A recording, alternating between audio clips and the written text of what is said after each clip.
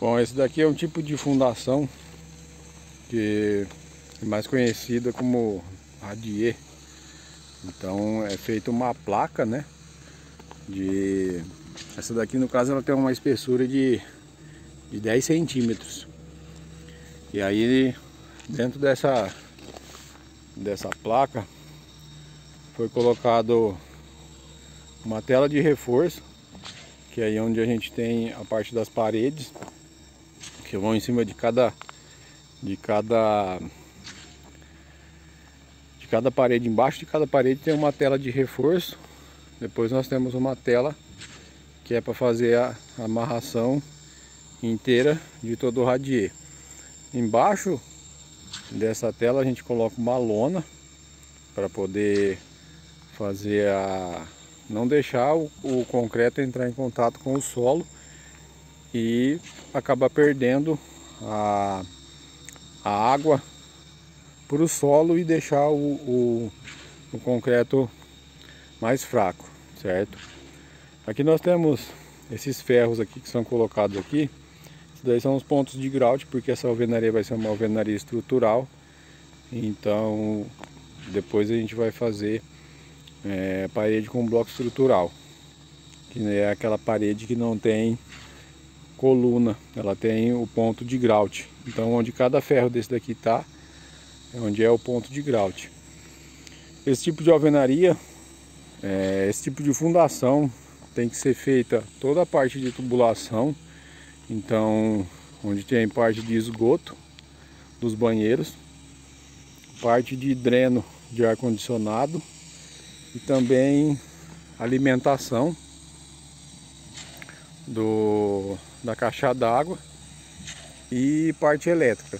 Então, onde vai vir parte de sistema e onde vai vir a parte para o quadro de distribuição. Tudo que passa pelo radier já tem que ser feito por essa placa de concreto aqui. Tem que ser feito antes para não ter que ficar quebrando depois. Eu vou fazer um vídeo, depois eu vou mostrar o antes da concretagem. Esse daqui, esse vídeo aqui foi para falar um pouco essa questão aí como deve ser feito é, a, a, parte do, do radier mesmo para explicar para vocês como que é feito. A compactação do solo ela tem que estar tá, é, muito bem feita essa parte de compactação esse, esse solo aqui foi feito o ensaio de compactação, ele está dando 100% de compactação. Então é um solo que está que tá bem compactado.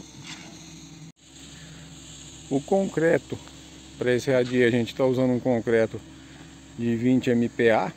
O cimento que a gente utiliza é, é o CP5, que é de alta resistência inicial para esse para fazer esse radia aqui.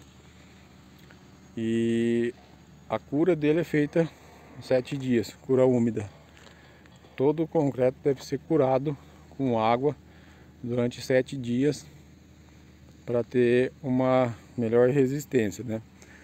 Esse radia aqui, a gente faz um vassourado em cima dele para criar essa rugosidade aqui, para depois fazer o passar uma argamassa para poder fazer o nivelamento do, do radiante e entrar com a parte de piso, né?